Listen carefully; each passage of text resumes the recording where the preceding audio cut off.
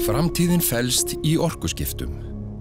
Grænt vettni er umhverfisvætn orkugjafi sem á nota til að knýja bíla, skip og flugvilar. Á Íslandi eru frábærar aðstæður fyrir vettnisvinnslu og við búum yfir þeirri þekkingu sem þarf til framleiðslunar. Þegar vettni er framleitt með endur nýjanlegri orku, losnar nánast ekkert koldíóksið út í andrumslottið. Tökum vel á móti framtíðinni. Landsvirkjun.